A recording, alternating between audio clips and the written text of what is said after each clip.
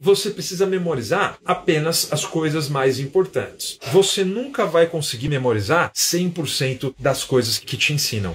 Então, por exemplo, se eu te ensinar 20 palavras, você não vai memorizar as 20. Sendo otimista, você vai conseguir memorizar umas 10. Então, olha como a proporção é bem menor. Você sempre vai memorizar bem menos do que aquilo que eu tento te passar. Então, você vai focar nas palavras mais importantes. Se eu estou descrevendo ali uma lista de palavras que você vai usar para descrever as pessoas, você vai selecionar as palavras que são mais interessantes, são mais comuns para você. Vou dar um exemplo. Vamos supor que lá na lista tem a palavra bacana. A palavra bacana é uma palavra que eu não uso nem em português. Eu nunca falo, ah, fulano é bacana. Não, eu falo fulano é legal, fulano é da hora, eu falo qualquer outra coisa. Mas a palavra bacana não faz parte do meu vocabulário em português. Se eu não uso essa palavra em português, vou usar ela em inglês, eu não vou. Então não tem necessidade de eu memorizar essa palavra. Uma palavra que nem mesmo em português eu utilizo. Então você já sabendo que a sua memorização para as palavras ela é limitada, você não vai tentar memorizar tudo. Você vai selecionar o que é mais importante para você.